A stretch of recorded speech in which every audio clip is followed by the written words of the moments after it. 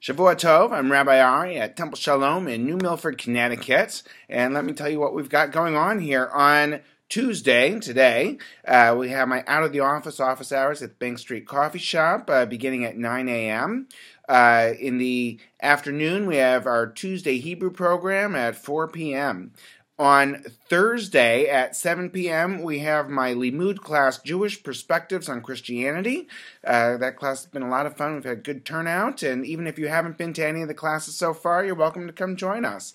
Friday, 6.30 p.m., we have our Kabbalat Shabbat services, and we are blessed to have Cantor Laura Bresnik uh, singing this Friday, and Howard Lapidus is going to be uh, playing the guitar, so that's going to be a special evening. On Saturday at 9.30 a.m., we have our Torah study, followed by services at 10.30 a.m., and on Sunday morning, 10 a.m., we have our Jewish Journeys program.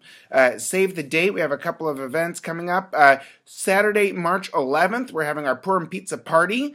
Uh, Sunday, March 19th, uh, there's an opportunity to meet Izzy Ezagui, uh, a uh, member of the IDF forces in uh, Israel, uh, who is only has one arm. Uh, should be interesting. That's uh, uh, sponsored uh, by the uh, Federation. On uh, March 25th, we have a pajama havdalah for families with children five and under. And on Tuesday, April 11th, we have our Passover Seder. You're going to need a reservation for that one. So go ahead and call the contact information and place a reservation for that.